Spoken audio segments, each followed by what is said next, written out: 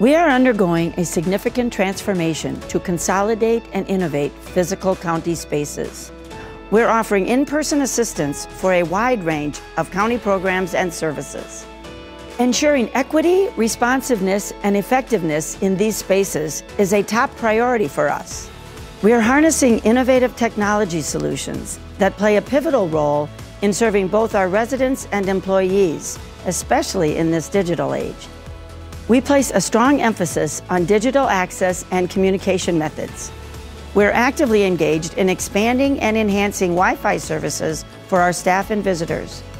We're proud to offer free public Wi-Fi at county-owned locations, and we're looking forward to the upcoming upgrades to our voting equipment.